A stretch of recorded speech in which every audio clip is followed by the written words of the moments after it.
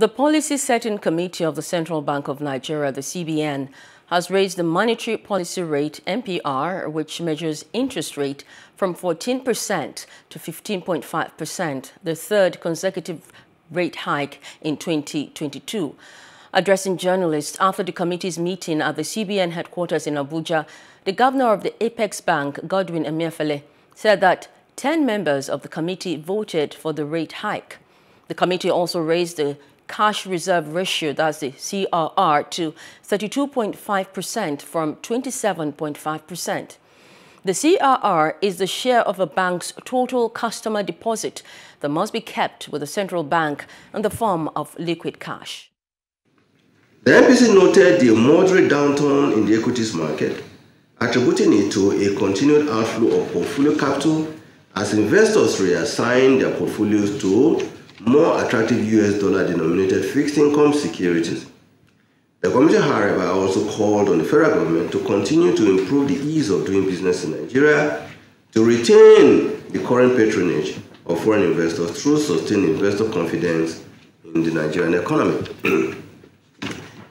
MPC applauded the bank for its continuous stringent regulatory measures over the banking system Noting the, uh, the progressive decline of the non-performing loans NPL ratio of the banking system despite the heightened macroeconomic uncertainties. MPC was concerned that within a four-month period, inflation had accelerated aggressively by 280 basis points from 17.7% in May of 2022 to 20.5% in August 2022. The committee was consequently of the view that given the primacy of its price and monetary stability mandate, it is expedient that the focus must be to rein in inflation at this time. The committee was therefore of the view that a hold or losing option was not in consideration at this meeting at all. This is also because a loosening will further widen the negative real interest rate gap and worsen the financial market conditions as savings mobilization, investment inflows will decline further.